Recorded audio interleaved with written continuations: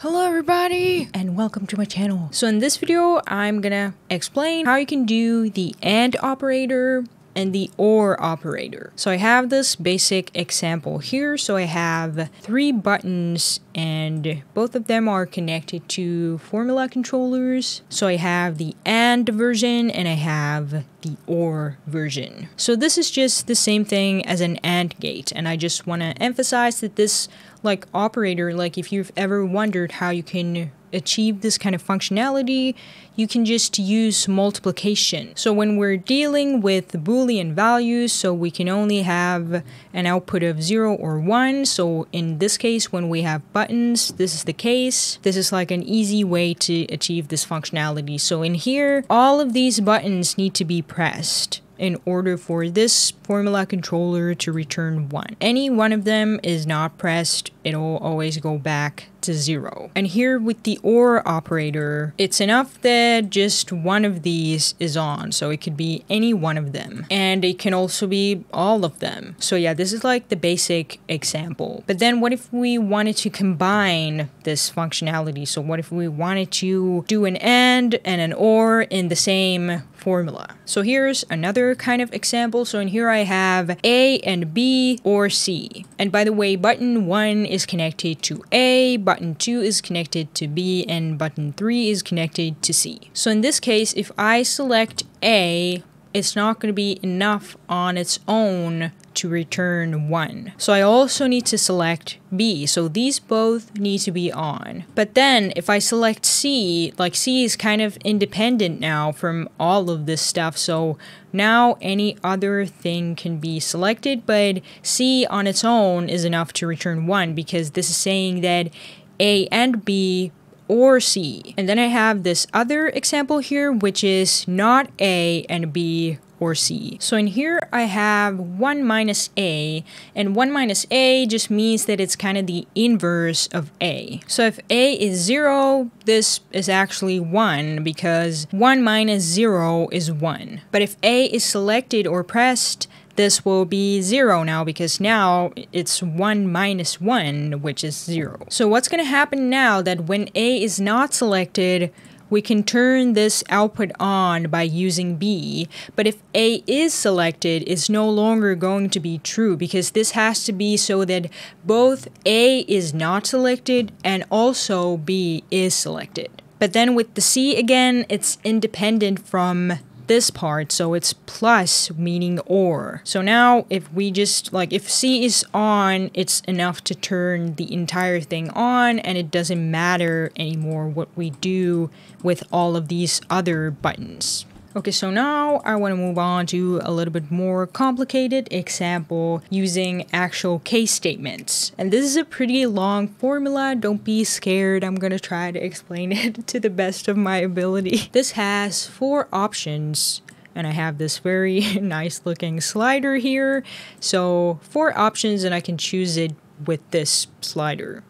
And then I also have this enable LFO selector. So if I press enable LFO, so this is at 100%, it means that these options like are working. So the LFO is working. So I'm gonna show you, I've connected this entire thing into the mod X of a Sytrus and you could connect this to any parameter you like. So here my LFO is not currently enabled so the mod X is doing nothing, it's just outputting zero. But now when I enable LFO, it starts moving. And now you can see that when I change the shape, it's going to behave differently. So what's happening in this formula controller is that I'm feeding a sine wave from a peak controller into input A. Input B is connected to this enable LFO button. And finally, input C is connected to the choose shape slider. And in here, I have this long formula.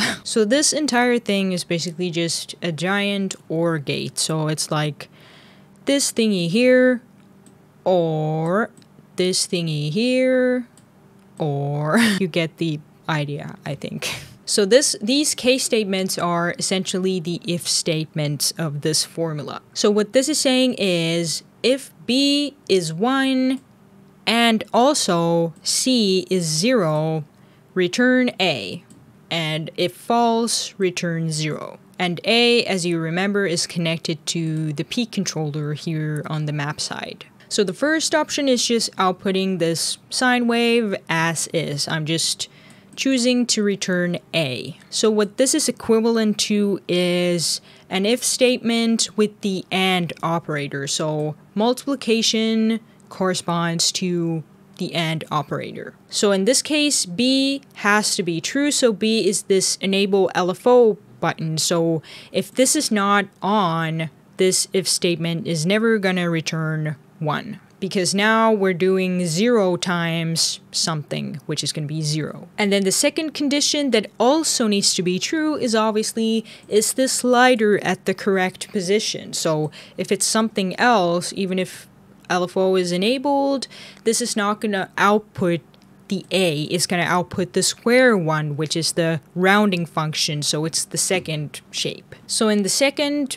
if statement or the case statement, I have B and this part. So so this is to get the correct knob position. So I have this knob divided into four parts. So I have like four possible values. I have 0, 1, 2, and 3. I'm going to put a card on the screen where I explain a little bit of this option selector stuff. I'm not going to explain it here, but you can watch that video and this will make a lot more sense after that. But anyway, the point is that here I'm also determining is the enable LFO option on and also is the slider at the correct position, which is shape 2 because shape 2 is the square one. And then in the third option, I have this tension shape and this works exactly the same way. So it's this one. It's a little bit hard to read and see what's happening here because it's just on one line. Yeah, this is my next thing to complain about. I want like a formatted text editor into Formula Controller. and finally, here is the final option, which is also a tension function, but it has like a square root thing inside of it to make it a little different. So hopefully this will help people realize that you can do this kind of a programming style logic in the formula controller. But yeah, I think that that's all for this video. Thanks for watching. Please like it if you thought it was interesting and consider subscribing if you want to see more Patcher formula controller tutorial stuff. And also leave a comment on what you thought of this video. And yeah, I will see you in the next one.